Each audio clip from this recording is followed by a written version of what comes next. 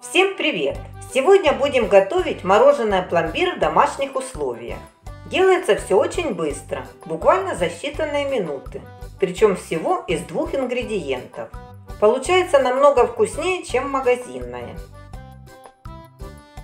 В сухую миску наливаем 500 грамм сливок жирностью 33% и взбиваем их на максимальной скорости в пышную устойчивую пену.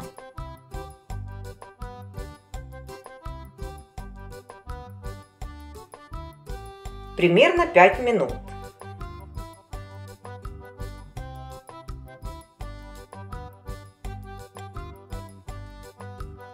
Затем вливаем 380 граммов сгущенного молока и продолжаем взбивать еще около 1 минуты.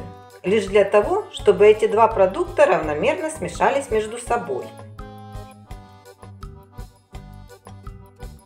Теперь берем любую форму, желательно разъемную. На дно кладем обрезанную по размеру вафлю. Сверху выливаем приготовленную массу.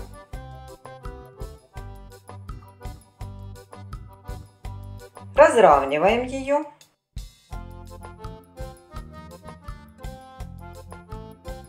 При этом выгоняем пузырьки воздуха. Сверху накрываем второй вафлей, слегка прижимаем ее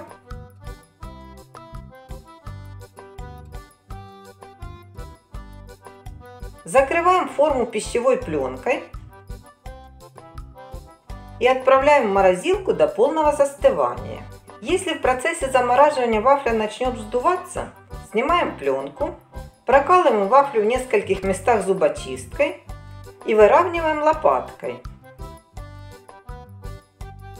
И так прошло 6 часов. Мороженое застыло.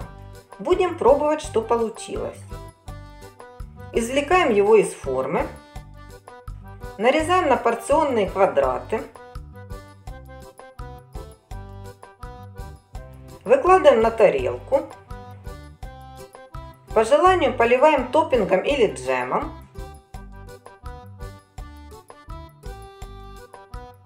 Посыпаем орехами и подаем к столу.